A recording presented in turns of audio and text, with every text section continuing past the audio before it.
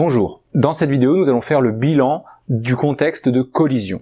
Nous avions déjà parlé dans le chapitre sur la convergence du contexte de subduction, où une lithosphère océanique plonge sous une autre lithosphère, qu'elle soit continentale ou océanique. Dans ce schéma, j'ai représenté une lithosphère océanique qui plonge sous une lithosphère continentale. Et à l'autre bout de la lithosphère océanique, on a un continent et donc une autre lithosphère continentale.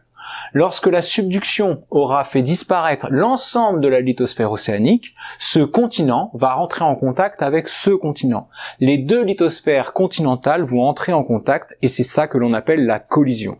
Donc dans un contexte de collision, c'est lorsque la plaque continentale ici à droite rencontre l'autre lithosphère continentale ici à gauche, et l'affrontement des deux plaques qui sont globalement de même densité va engendrer un certain nombre de déformations et notamment des grands chevauchements, des écailles de croûte qui vont se chevaucher les unes les autres.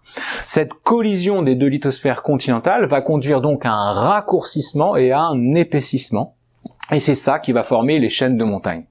Dans une chaîne de montagne, si on regarde de plus près au niveau des paysages, en surface, on peut observer des déformations comme les plis par exemple, les failles inverses ou les chevauchements, et ces déformations sont le témoin du raccourcissement et de l'épaississement qui s'est produit par la collision, c'est-à-dire la rencontre, l'affrontement des deux lithosphères continentales. Donc pour conclure, le contexte de collision est un contexte convergent, où les forces qui vont s'exercer sont des forces plutôt compressives. Ces compressions vont générer des déformations, soit des déformations ductiles, les plis qui conduisent à un raccourcissement et à un épaississement, soit des déformations cassantes, rigides, les failles inverses et les chevauchements qui conduisent elles aussi à un épaississement et un raccourcissement. Et cet ensemble d'épaississement et de raccourcissement se traduit à l'échelle de la chaîne entière qui, dans son ensemble, se raccourcit et s'épaissit. Et c'est donc ça qui est à l'origine des reliefs que l'on observe dans les zones de collision.